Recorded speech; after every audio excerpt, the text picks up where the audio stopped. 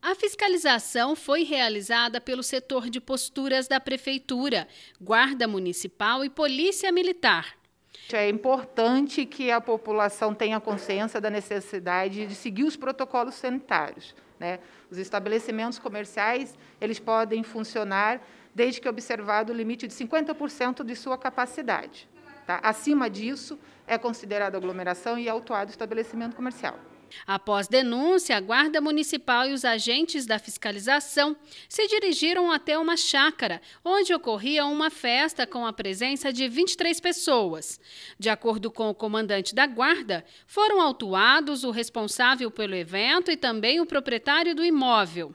Foi feita denúncia, a gente conta muito com o apoio da população nesse sentido para denunciar. A gente tem diversos canais de denúncia. Da Guarda Municipal, o principal deles é o telefone 153, ligação pode ser anônima e gratuita.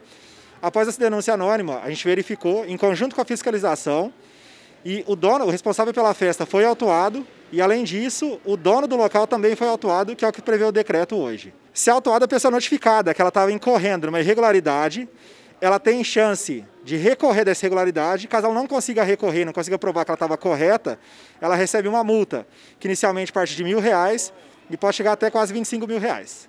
Aconteceu também a visita em alguns bares da cidade, que funcionavam fora do horário permitido, ou seja, após as 22 horas. Eles também são autuados, eles têm o direito de defesa, de se justificar é, mas não conseguindo, não sendo possível, é realizado a aplicação de multa prevista no decreto. A gente conta com o apoio da população, não somente para cumprir o decreto, mas como também nossa equipe é reduzida, a vigilância sanitária é reduzida, a fiscalização, a polícia militar, né, todo mundo tem equipe reduzida, a gente conta muito com o apoio da, da população no que tange as denúncias. Na zona rural, aconteceu um trabalho no distrito do Campestrinho.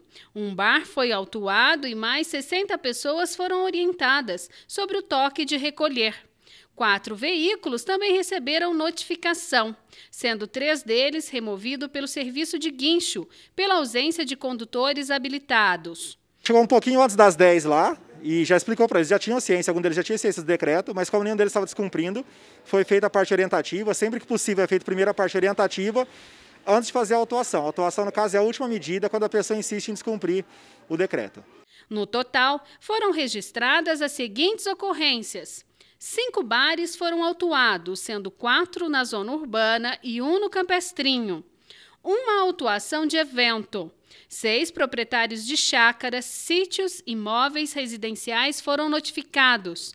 Dois bares foram notificados por estarem desrespeitando as normas sanitárias. Um templo religioso foi notificado. Importante manter o distanciamento, né, o uso de álcool gel, os protocolos sanitários permanecem vigentes. O toque de recolher acontece entre as 22 horas até as 5 horas da manhã. Além disso, está proibido o aluguel de chácaras. O telefone para denúncias sobre festas ou eventos que causam aglomeração é o 153. É importante que as pessoas, nesse momento tão delicado que nós estamos passando da, da pandemia, é, evitem aglomeração, né, sigam os protocolos sanitários. Né, é, precisamos agora mais do que nunca da colaboração de todos. É um esforço mútuo e não só de nós aqui do governo.